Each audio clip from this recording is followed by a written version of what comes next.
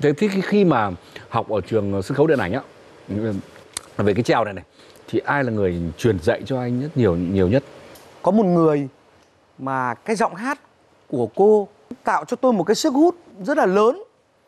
Và cái e của cô khiến cho tôi cảm thấy cô có một cái điều gì đấy rất là giống với mẹ của mình.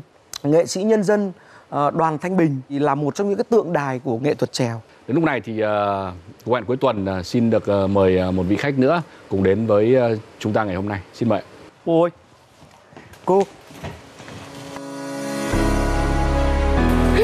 Ai giời ơi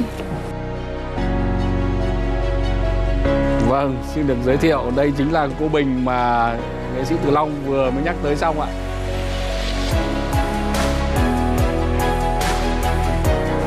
Học trò ruột của tôi đấy Dạ, dạ. ở đây ôi cô hơi bất ngờ đấy sao à, chương trình à,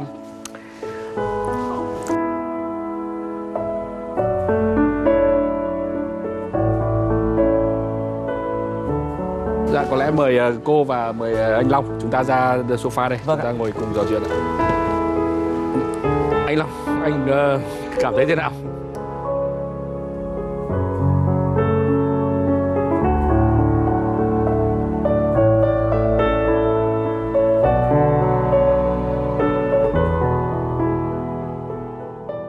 Chương trình cho tôi quá nhiều cảm xúc. Lúc nãy à, nói về gia đình tôi thì tôi cũng đã có những cái cảm xúc nhất định là bởi vì là thực ra là chưa bao giờ tôi nghe bố mẹ tôi nói về tôi bây giờ cả. Mà nhất là nói trên truyền hình thường thì tôi bảo thôi bố mẹ đừng nói gì cả, bởi vì nói thế có khi người ta lại bảo là gà nhà khen nhau. Nên là thôi con nói về bố mẹ không sao, nhưng bố mẹ nói về con thì tôi lại rất là ngại. Nhưng mà hôm nay đúng là bất ngờ quá, tôi không nghĩ là hôm nay lại được gặp à, cô ở đây tuy không phải là người đầu tiên dạy tôi nhưng mà là một người ảnh hưởng rất nhiều trong sự nghiệp cũng như là cái lối sống của tôi và cảm ơn cô Cô có thể chia sẻ một chút về cậu học trò này đúng không ạ? Với ờ, học trò này thì tôi thường nói đùa là cứ thò ra ngón nào hay là anh ấy chụp mất Thì hồi hồi đấy cậu, cậu này cậu có nổi trội gì hơn so với các chúng Hồi bạn đấy không ạ? có là cô thì Ban chấp à, hành. rất là đáng yêu tôi ở trường tôi làm à, ban chấp hành đoàn trường nhưng mà tôi có một cái kỷ niệm mà chắc là ai cũng hay nhớ ở trường sân khấu là tôi mùa hè không bao giờ ngủ ở ký túc chuyên môn vác chăn lên ngủ ở đỉnh nóc thư viện năm đấy là cô cùng với cả hội chú lê là đi học ừm, đạo diễn. đạo diễn các chú ấy vào học thì là tôi mới bắt đầu quấn chăn chiếu từ nhà thư viện đấy về Cô Bình ơi, cô có nhớ là bài đầu tiên mà cô dạy cho Long là bài gì không? nhà giáo Trần Quỳnh là sáng tác một cái cái hoạt cảnh bài đấy là bài hát con sông tô lững lờ chảy quanh làng láng như giải lụa đào Đấy, lần đầu tiên là được cô là chọn đi để đi thu thanh đi thu với cô Đấy. Thì hồi đấy cậu ấy đã có cái, cái thể hiện cái tố chất mà hài hước chứ ạ? lúc ý là là là đã hài rồi và một thích đóng phản diện chứ không thích đóng kép nhưng tôi thì tôi rất tiếc là vì nếu mà có giọng hát hay đóng kép thì sẽ rất là tốt. Tôi lấy long làm đóng vai từ thức. Thì cũng không ngờ rằng là giáo sư nghệ sĩ nhân dân trần bảng bảo ô thằng này nó đóng kép được đấy nhỉ? Cái hoạt cảnh à, mùng 10 tháng 10 đấy là lại còn diễn. Có cái cảnh bắt đầu anh bộ đội khoác ba lô vừa mới đi ra sân khấu để gặp mẹ thì ông ấy đi như là là là long ngoài đời ấy. tóc thì Chôm coi- chôm. con gái tôi đặt tên là anh long chôm chôm là vì tóc cứ chỉa ra. Xong thì bảo là long ơi long nhớ rằng đây là anh bộ đội chứ không phải là ông tướng cướp. Nhưng mà được cái là nói là cậu làm được ngay. Làm được ngay đúng không? Đấy, ngay như cái vở chú Văn An người thầy của muôn đời mà Tự Long lúc ý là đã đóng rất nhiều hài ấy, các thứ mà không ai nghĩ rằng là Long đóng những cái vai trèo như chính, thế. Chính, chính, dạng chính kịch đấy. nhưng khi mời thầy cô đi xem tổng duyệt ấy, thì chồng tôi là thầy Vũ Ngọc về bảo là Long nhớ rằng đây là người thầy của muôn đời cơ. Tức là là ông ấy là một nhà nho thì kể cả từ bước đi này, rồi từ cái ánh mắt này, rồi từ cái ngâm, rồi cái giọng nói là nó phải rất là nho nhã, nó không thể ngờ khi mà đi hội diễn thì Long diễn cái vai đấy hoàn toàn khác hẳn với cái hôm tổng duyệt. Phải nói là một cái rèn luyện cái khổ luyện của Long.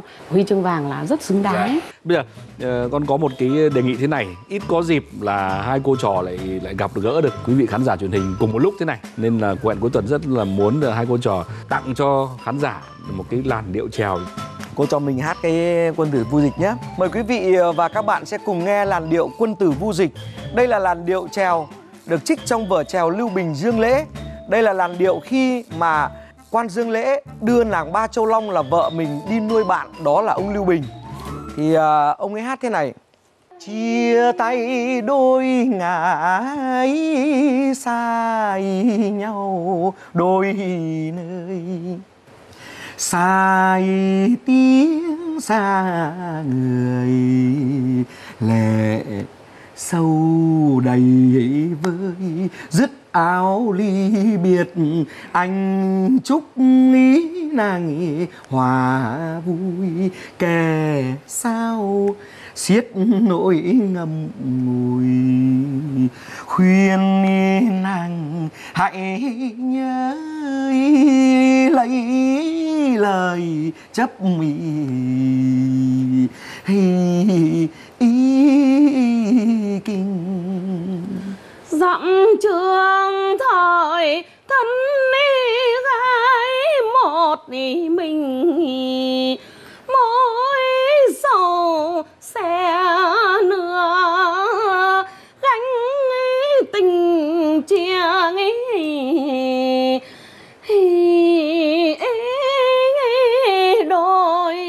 ngõ trúc quanh hình bóng ấy ai đã khuất luống bâng khuâng. Như mất đi làng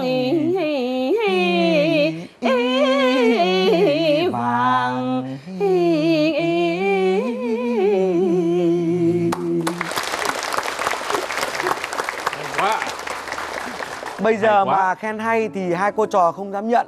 Nhưng để đến bây giờ Tuổi ở độ tuổi này mà cô vẫn còn được hát Và hát được hay như thế này Thì đó là không chỉ niềm hạnh phúc đối với em Mà còn hạnh phúc với cả làng trèo Và cả những người yêu trèo và yêu thầy cô. Xin cảm ơn thầy cô.